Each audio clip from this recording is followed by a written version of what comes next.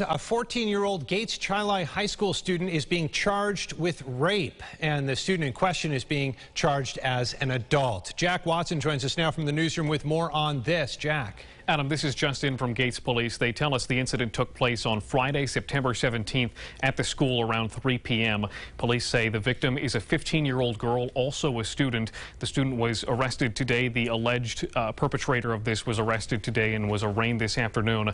He is being charged with rape in the first degree and criminal sex act in the first degree. A letter sent to parents by the superintendent says, quote, the district was made aware of a serious allegation involving a high school student.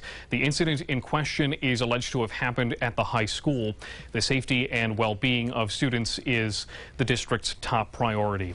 The district is also offering emotional support services for students. We are told the student in question is not allowed back on school grounds. Police say that is all the information they can release right now due to the age of the students involved. Adam. All right, Jack, thanks for that update. This is a developing story. And as we get more information, we'll keep you updated on air and over at rochesterfirst.com.